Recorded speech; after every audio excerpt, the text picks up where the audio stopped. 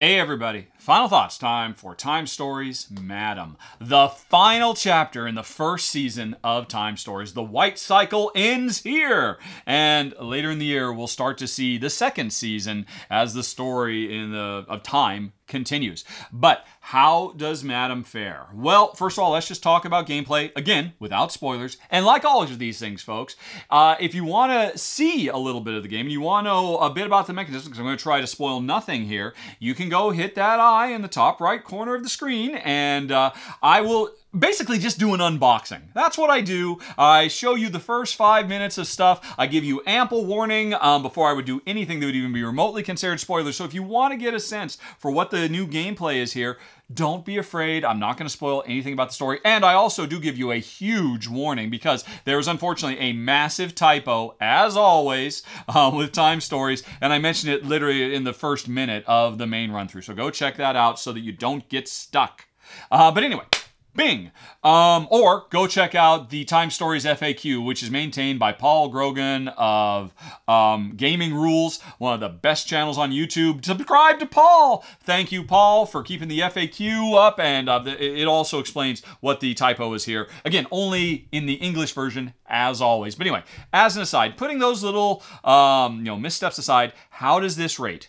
I gotta say, folks, for me and Jen, um, Time Story Season 1, The White Cycle ended with a bang. This is our favorite. We love this one the most for two big, big reasons. Um, one, this uh, Madame has a the smallest dependence on dice of any of them. The amount of time you do still roll dice, you still have to engage in scuffles every once in a while, or do some, um, you know, uh, you know, uh, try and convince people to do things they don't necessarily want to do by using your wits or whatever, and that requires rolling and hopefully not getting failures and getting successes and burning time. That's still there, but it is so minor. Um, so there's so little of it. I don't even mind that it's there. When we do it, it's kind of occasionally, oh, that's kind of nice. It's a nice little breath of fresh air as opposed to the way it's been in some, where it's like, oh my god, kill me now if I have to roll these dice one more time. Uh, it, you know, the Madame finds a much better um, balance for dice usage than any of the other time stories. And I hope it's a harbinger for the development of the game going into season two uh, when we get into the blue cycle. That um, you know, I, I, still hope that in season two the dice fundamentally do not exist at all um, because of the other thing that makes me love Madame. Uh, and again, I'm not going to tell you what it is. I don't want to spoil anything. If you want to discover yourself, I'll just tell you the name. It's um, called Temporal Imprints. Uh, this new temporal imprint system is so awesome, and I think people are going to absolutely adore it because it addresses probably the number one most commonly levied complaint against time stories. The you know the fundamental nature of time stories is it's it's Groundhog Day, the board game. You go in, you try and do some stuff, you run out of time, everything resets, and now you know what to do and what not to do. But you have to do some things more than once. So you might have to do some things, you know, a half a dozen times over the course of the game. The temporal imprint system, if you hate the Groundhog Day nature of this game, you're gonna love, you're gonna be so, madam, why didn't, why wasn't the temporal imprint in the very, very first game ever? Because it's so awesome.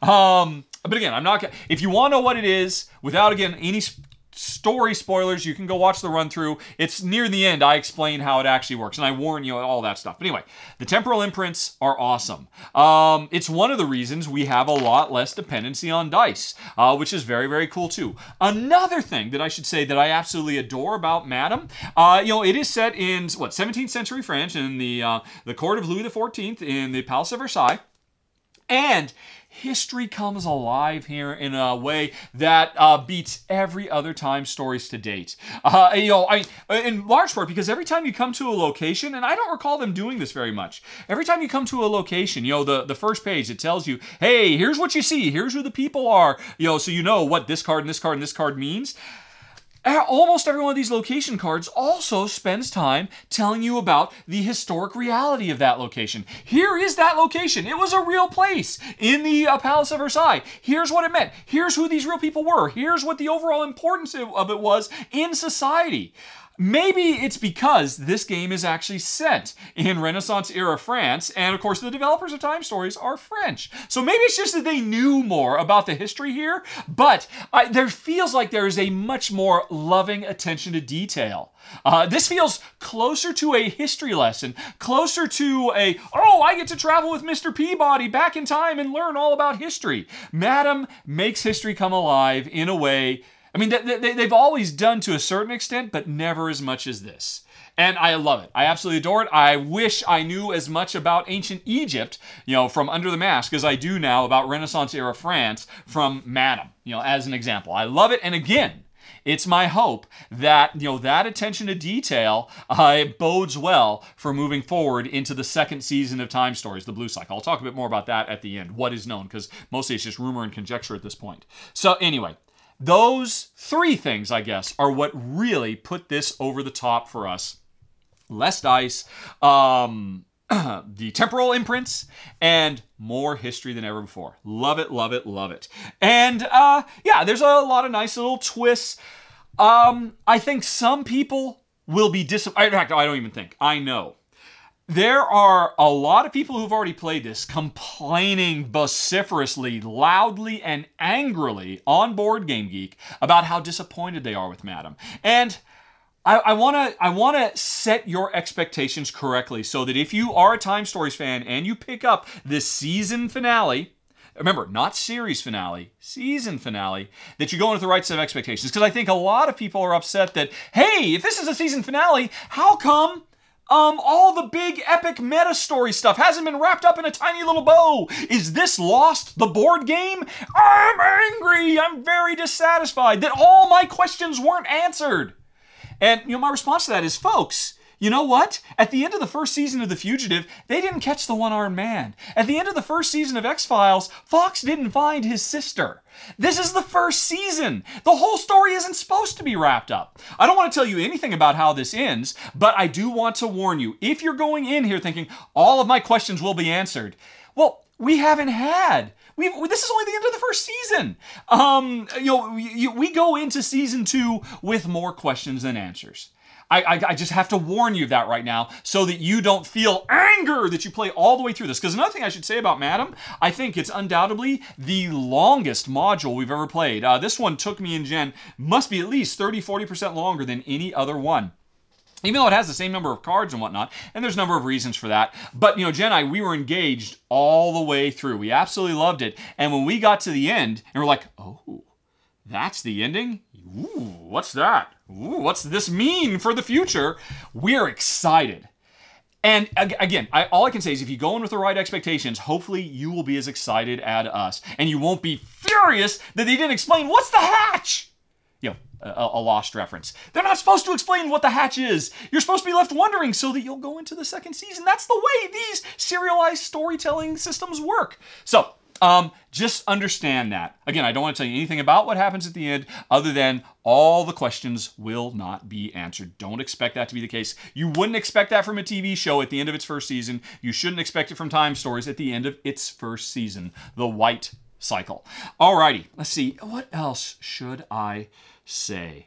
Well, I, I mentioned. Oh, oh, one thing. You, if you, if you like us, had come in here having played the previous one, Brotherhood of the Coast, and you watched my little introduction, you might be saying, hey, that introduction makes no sense because of what happened to me in Brotherhood of the Coast. You remember in my uh, Brotherhood of the Coast video, I, I, was so excited about how it basically ended with a cliffhanger if you made certain choices. If you didn't, if you did other things, everything just kind of ended, you know, kind of nice and normal like a regular adventure. But it could have ended with a cliffhanger. Uh, the way that works is, and I only say this because you know, it might have been six months. It might have been a long time since you've played. And if you've forgotten, for if you remember that you ended Brotherhood of the Coast with a particular cliffhanger, do not forget that Brotherhood of the Coast, told, or more to the point, I think it was the website, um, you know, the, the Time Stories Agency website told you if you ended with that cliffhanger, before you start playing Madame, check out item number 12.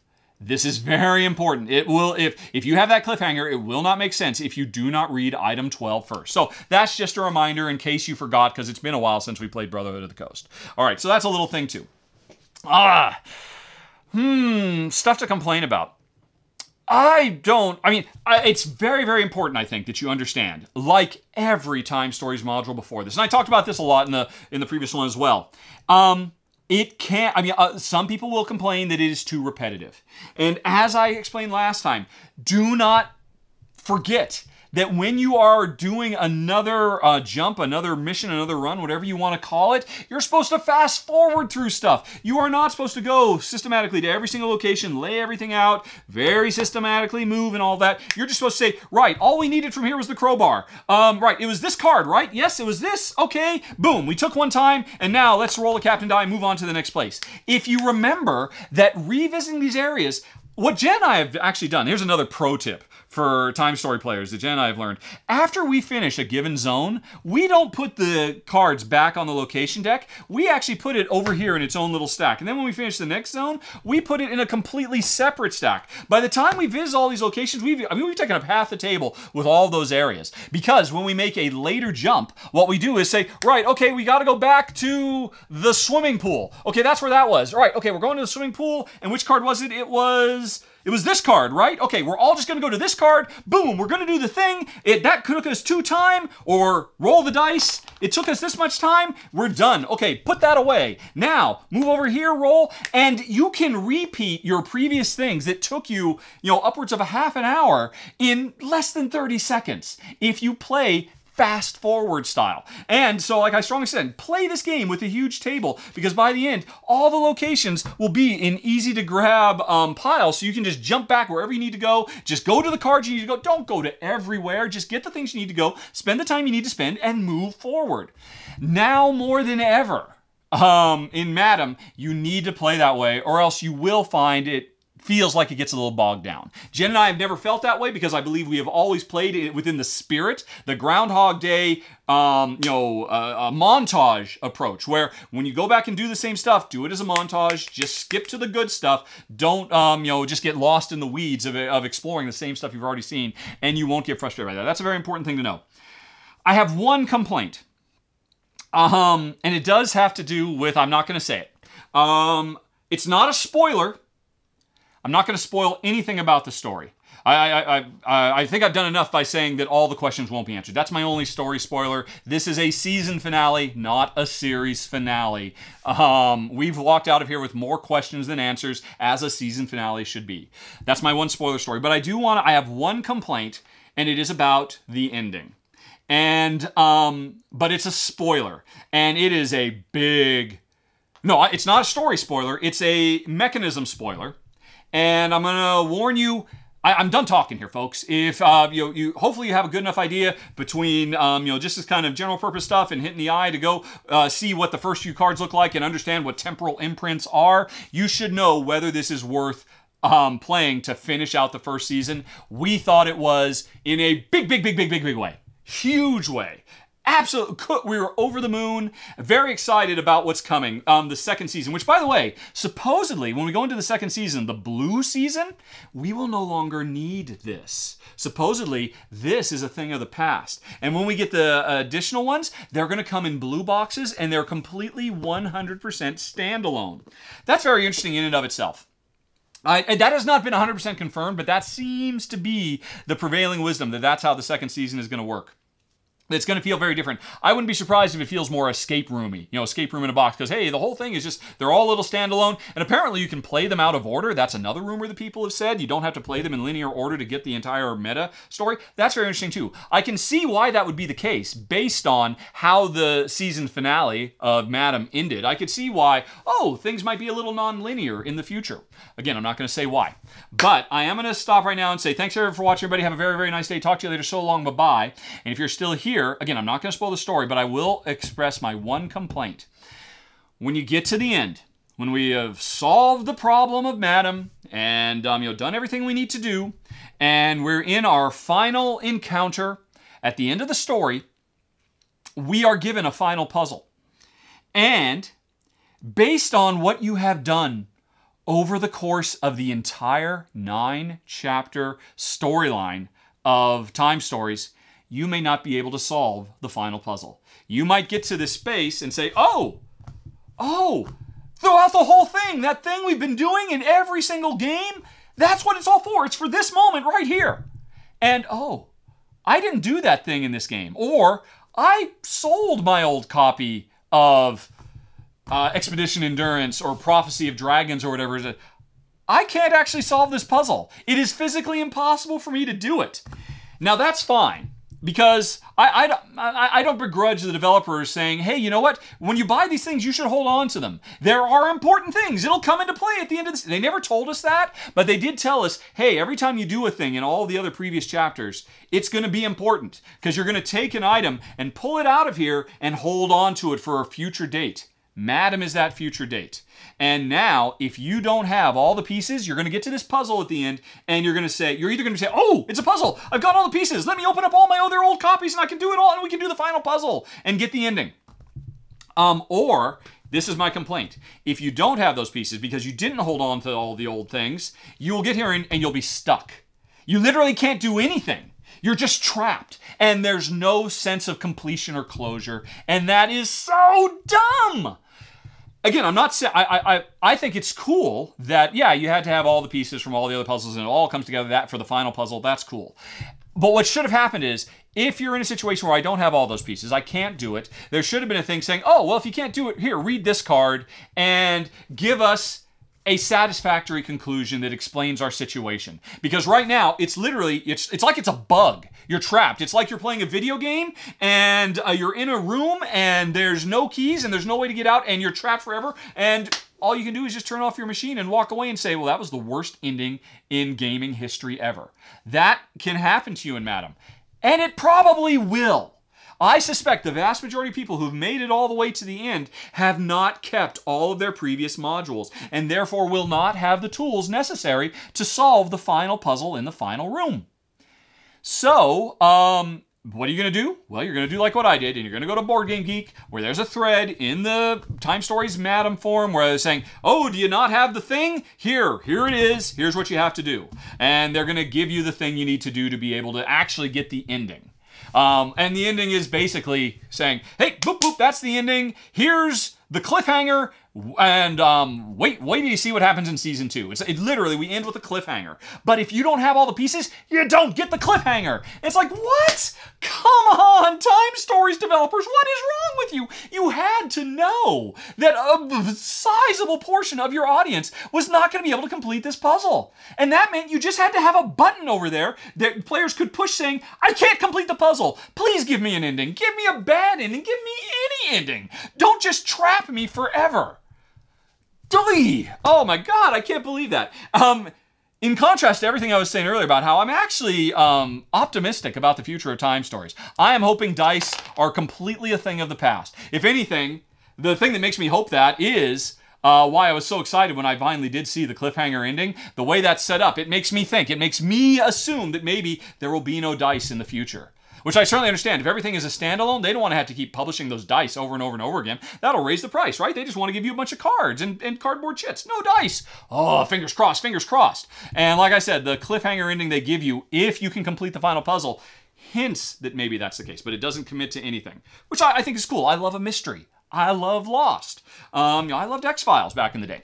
But it was so dumb of them not to have a button for, I can't complete this puzzle. Please tell me something. Please tell me that I'm trapped forever in limbo, and you know, give give us a. um, spoiler alert for the end of Quantum Leap. Give us an ending. Uh, uh, uh, um, for like what um the, the, you know actually it's not I won't say what the ending of Quantum Leap is. It's the greatest ending of TV history as far as I'm concerned. Give us an ending like that. If you if you something developers of time stories, but they don't. And it's okay, you'll get around it, but it means you literally have to go to Board Game Geek, you have to find the thread, and then you have to get the information that they have because some people out there did keep all the copies, were able to go back, get all the pieces, put them together, and solve the final puzzle. So, it didn't bother me, but it was kind of a bummer. I would have liked to see the, oh, I can't do it. So tell me, what is my fate? And they don't tell you what your fate is. Because you literally have to live out your fate. Your fate is to be trapped in this final puzzle and never be able to do anything ever again for the rest of history. Or your final puzzle is you're trapped in this room. Go back out and re-buy every module to get the piece you need out of everyone and then come back. And that's ridiculous. Nobody's going to do that. The developers know that. I'm sorry, I'm just repeating myself now.